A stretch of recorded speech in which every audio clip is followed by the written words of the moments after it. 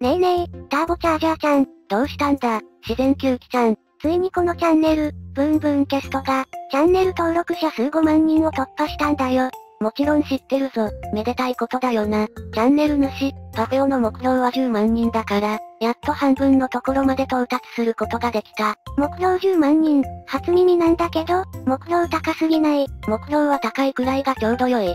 5万人に満足して怠けていると、競合の車解説系チャンネルに、足元を救われることになるぜ。1年前と比べると、車をテーマにした、ゆっくり解説チャンネルも増えたよね。ああ、どのチャンネルも魅力的だから、私たちもうかうかしていられないな。本当にその通りだと思うよ。これからも頑張ってね、ターボチャージャーちゃん。いや人任せなんかい。だって、私は車の解説なんてできないし、まあ私が車について解説していって、たまに、自然吸気ちゃんがチャチャを入れるというスタイルが、このチャンネルには合っているのかもしれない。チャチャを入れるって、真剣に質問してるつもりなんですけど、ブーンブーンキャストはこれからも、チャンネル登録者数十万人を目指して、頑張って動画投稿していこうと思う。まだチャンネル登録をしていないという人は、これを機に、ぜひチャンネル登録してね。そして、私たちがここまで頑張ってこれたのは、視聴者の皆さんの応援があったからなんだ。この場を借りて、お礼を言わせてくれ。本当にありがとうございます。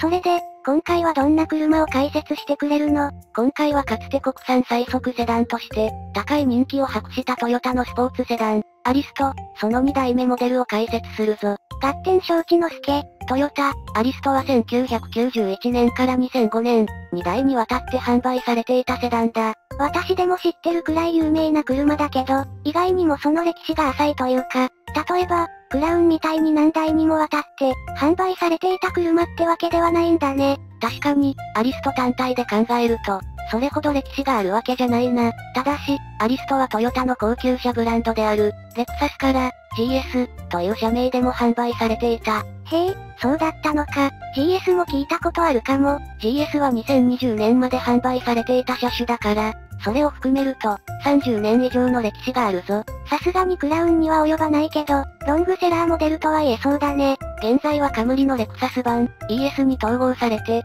残念ながら生産終了となってしまったものの、GS が日本、そして世界に与えた衝撃は大きい。そんなにすごい車だったの？初代アリストの登場は1991年。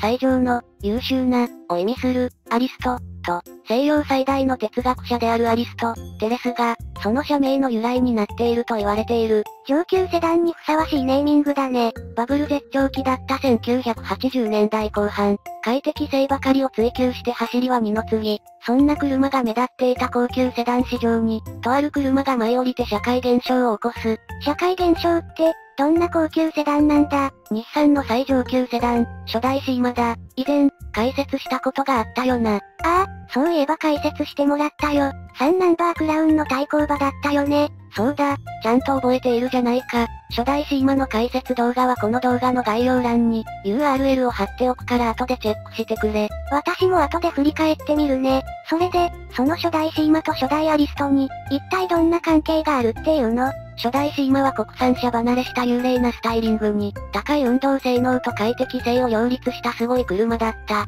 そんなにすごい車だったのか。解説動画で何を聞いていたんだ。ちゃんと聞いたよ。覚えていないだけで。まったく、1987年10月、東京モーターショーに参考出品された、初代シーマを見て、日産に嫉妬したある人物がいた。それが当時のトヨタの社長、豊田英二氏その人だ。初代シーマの完成度の高さに嫉妬したってことまあ、そういうことだな。豊田英二氏は初代シーマを一目見て、トヨタに、初代シーマのような車がないことを残念に思った。初代アリストの開発は、これがきっかけなのこれ自体が直接的な要因ではないが、東京モーターショーの3ヶ月後、初代シーマが発売。一時は3ナンバークラウンを販売台数で上回り、俗に言う、シーマ現象、を巻き起こしたんだが、これにトヨタが無反応でいるはずがないよな。うん、良い意味でプライド高いからね。それに、一昔前のクラウンはまさに王者だから、そんな車が一時的とはいえ販売台数で負けるなんて、打倒シーマを掲げる材料としては十分だと思うよ。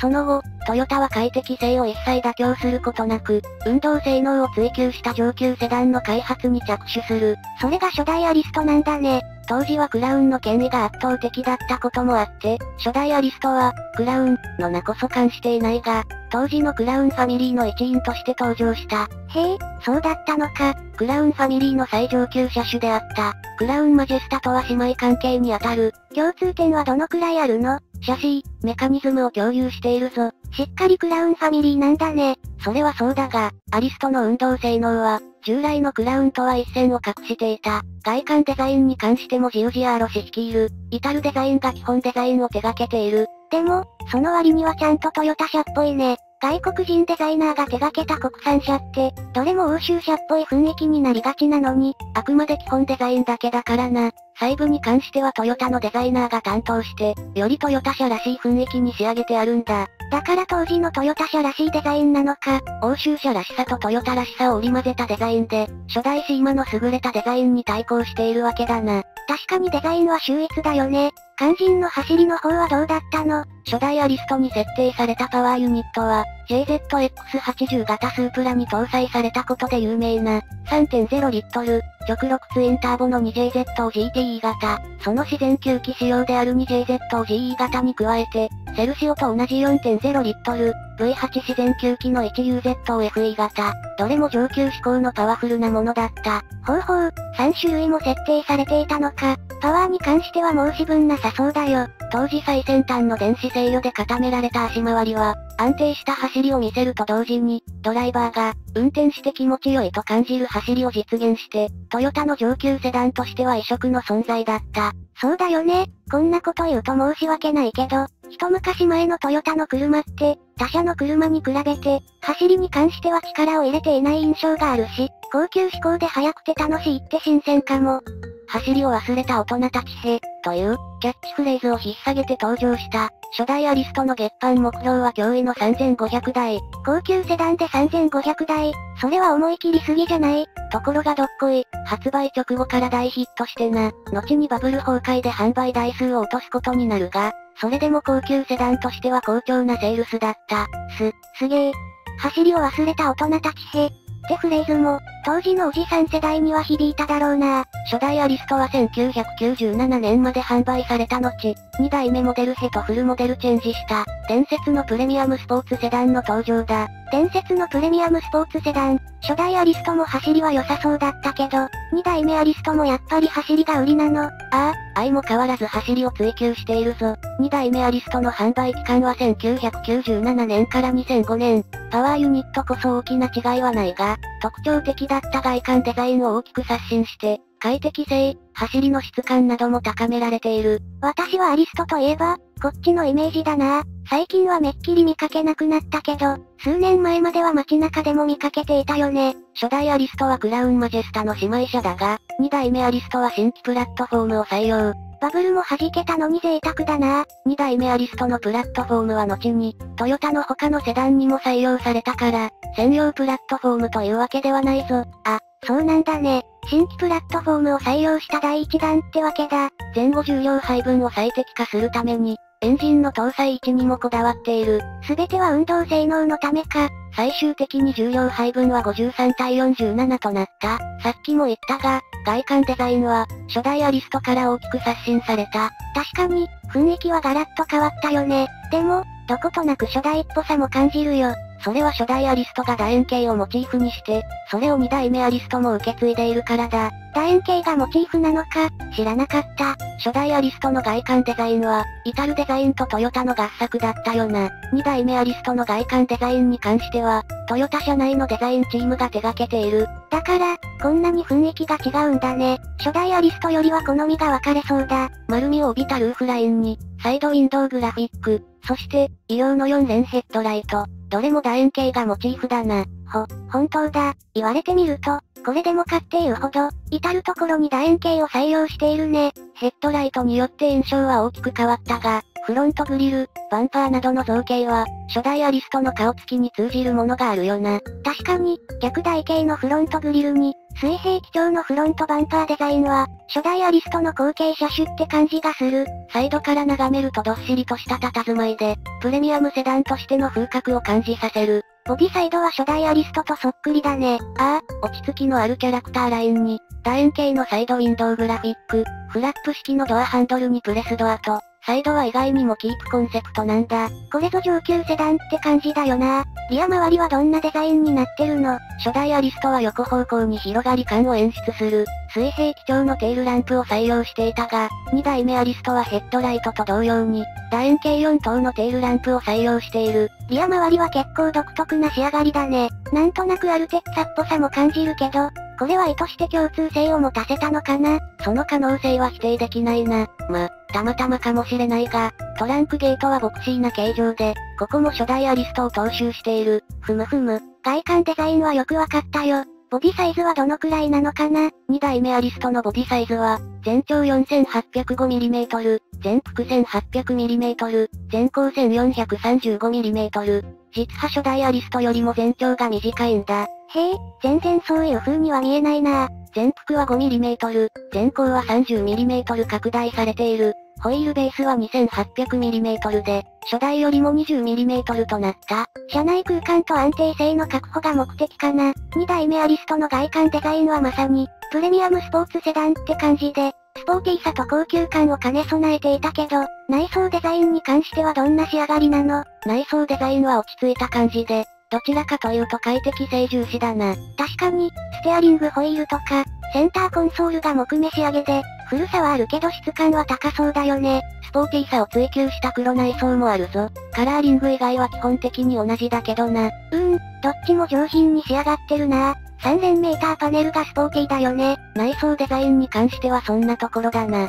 他に何か解説してほしいところはあるか？うーん、そうだね。あとはやっぱりスペックと運動性能かな。当時の国産最速セダンの実力が気になる。国産最速セダンと謳われていたのは、初代アリストなんだが、まあ2代目アリストも、当時としては最高峰の速さを誇るからな。それじゃあ、早速その走りに迫っていこう。見せてもらおうか。トヨタのスポーツセダンの性能とやらを、2代目アリストが搭載しているエンジンは、2JZGTE 型、2JZGE 型の2種類となっている。パワーユニット自体は初代アリストと共通だ。ただ、可変バルブタイミング機構、VVTI が新たに追加されたことにより、全域にわたりトルクフルな特性となった。それは確かに魅力的だけど、セルシオ譲りの4.0リットル、V8 自然吸気は、2代目アリストには非採用だぞ。な、なんですと走路骨に効く気をなくすんじゃない。自然吸気筒には 2JZOGE 型があるだろ。あ、そういえばそうだったわ。